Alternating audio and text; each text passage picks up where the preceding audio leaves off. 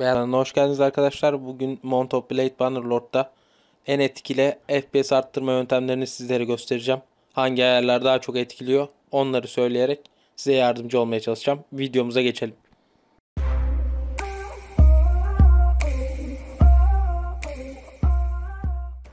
Arkadaşlar ilk olarak Option'a tıklayacağız. Tıkladıktan hemen sonra video ayarlarına geçeceğiz.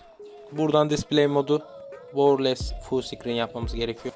Çözünürlüğünüzü de bilgisayarınıza göre değişebilir şekilde ayarlamanız gerekiyor.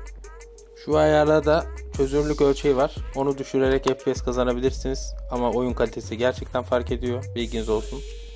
Performans bölümüne geçelim. Burada Oral diye bir seçenek var. Custom olarak kendi ayarlayabiliyor. Onu düşürerek başlayabilirsiniz. Bilgisayarınıza göre tabii ki de. En çok ama burada dikkat edilmesi gereken şeyler gölgeler. Gölgeler çok FPS kaybettirmekte. Gölgelerin yanında partiküller de çok önemli. Onları da kapatıyoruz o yüzden. Son olarak da anti-aliasing'i düşürmemiz gerekiyor. Kapatacağız onu da. Birkaç özelliği de kapattığım zaman burası da tamamdır.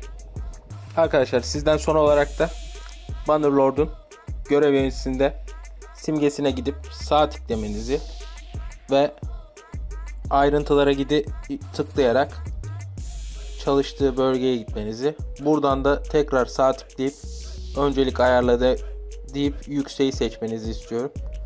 Bundan sonra artık daha fazla FPS alabilirsiniz. İzlediğiniz için teşekkürler. Beyaz Başlık kanalına abone olmayı lütfen unutmayalım. Videoyu da like atarsanız sevinirim.